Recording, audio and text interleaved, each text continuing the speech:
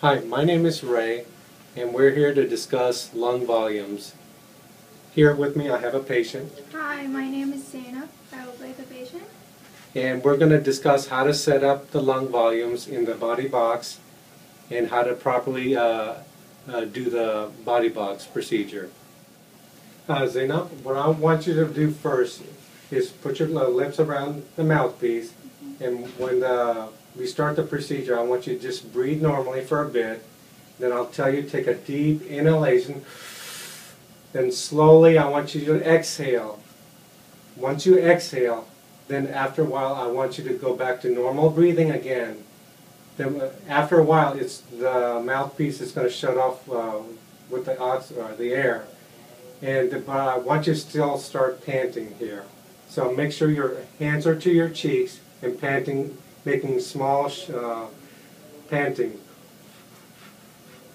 like that. Mhm. All right. Okay. Any questions? No. Okay. All right.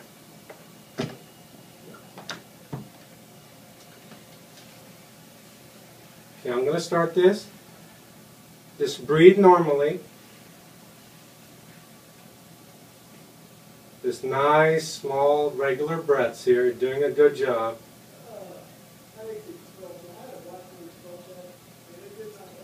Now take a, a deep breath in and slowly exhale.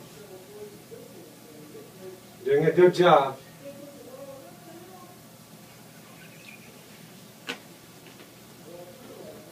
Now go back. Now go back to normal breathing here. Just small, regular breaths. Now I want you to put your hands to your cheeks and pant small breaths here. After a while, the inlet will close here, but don't get alarmed. Just go quick in, out, in, out, in, out. You're doing an awesome job here.